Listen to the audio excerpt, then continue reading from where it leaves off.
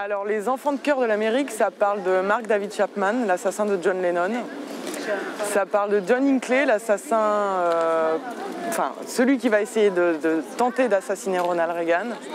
Ça parle de l'attrape-cœur, qui est leur livre de chevet à tous les deux. Euh, donc c'est deux personnages qui se font une promesse sans se connaître à travers un livre qui est l'attrape-cœur.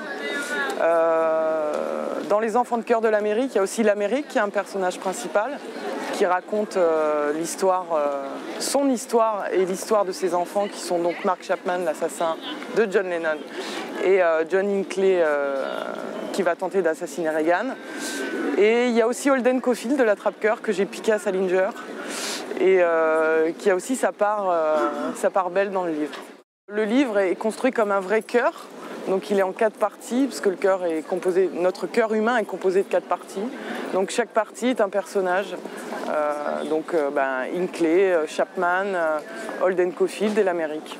J'avais envie de mettre un cœur antique pour pouvoir quelqu'un qui annonce les personnages parce qu'il y a beaucoup de personnages dans le livre que les gens ne connaissent pas vraiment. Charles Manson, bon là comme ça ça vous dit quelque chose, mais parfois on ne sait pas qui c'est. Emmett Till, on ne sait pas qui c'est.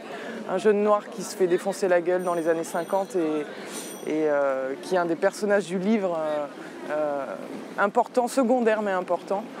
Et donc euh, j'avais envie que quelqu'un les annonce et du coup j'ai pris cette idée du cœur des tragédies grecques parce que c'est une tragédie, parce que l'Amérique est une tragédienne en soi, elle fait des très belles choses et des choses horribles, elle a massacré les Indiens, euh, la ségrégation, enfin toutes ces choses-là, il faut qu'elles soient dites aussi, donc du coup qu'elle présente les personnages et qu'elle soit une tragédienne elle aussi, je trouvais que ça, correspondait.